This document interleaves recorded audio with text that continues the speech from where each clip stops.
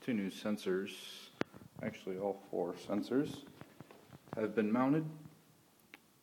We've got the front left, front mid left, front right, and front mid right. And of course, the only ones missing are the ones on the side. Side left, side right. So right now, we've got four out of the six mounted. You can see our wiring mess up top. Um, wrote a couple, wrote a modification to the program to uh, test, revise from last time.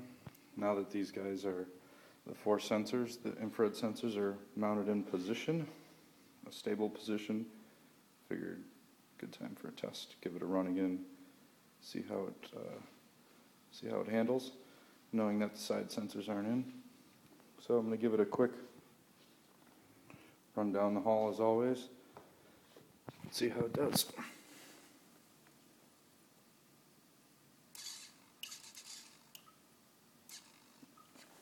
Looking at power. And there it goes.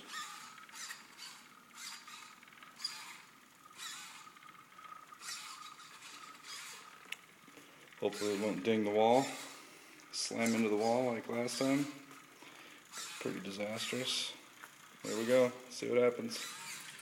Makes the turn, sort of.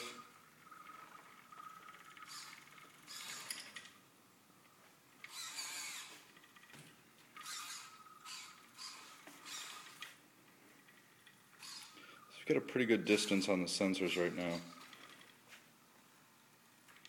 If you could see how far it's picking up that wall, it's about two and a half feet away from where he's at. So it's it's probably a little too sensitive. Um, but in the home setting here, where things are kind of tight and try not to ding my white walls, that's not necessarily a bad thing. So it's kind of at a standoff right now. A little showdown with the wall.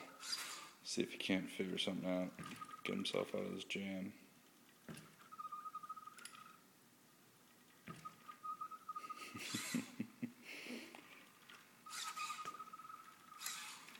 Trying a couple things. Doesn't have a whole lot of room, you know, that hallway is only, you know, four feet wide.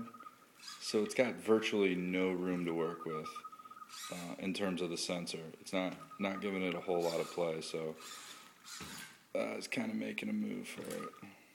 And of course, there's no sensors in the rear, so it's going to back into that wall every single time. Let's uh, let's give it some help real quick. Get this fellow turned around. So we'll point him on track over here, see if he can't bail himself out.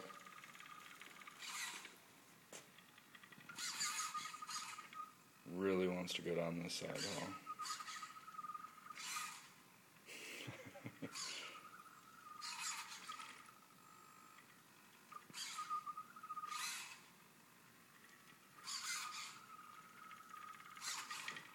Might get it.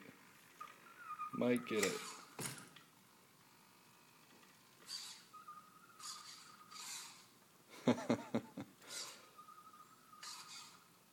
As you can see, it's pretty much making the same moves over and over, right?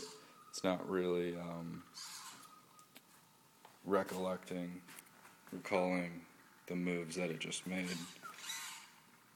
So it's pretty much, you know, once it once it gets itself in trouble, it's pretty much going to stay in trouble um, right now.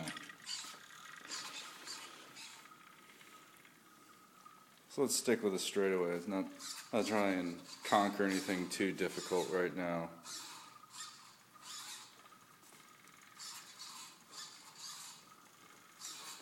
Get some nice fishtail action going, weaving around. Um, the turning is not proportional to the distance just yet. That's something I'll be implementing. So right now it just has a hard-coded value.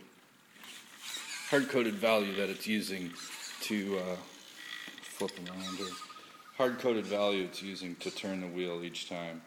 So it's uh, you know, it's basically just making a guess at how much it should be turning.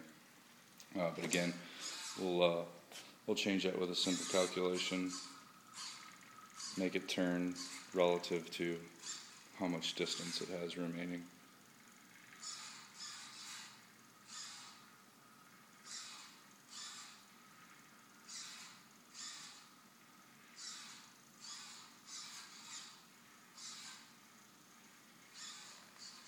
And there you have it.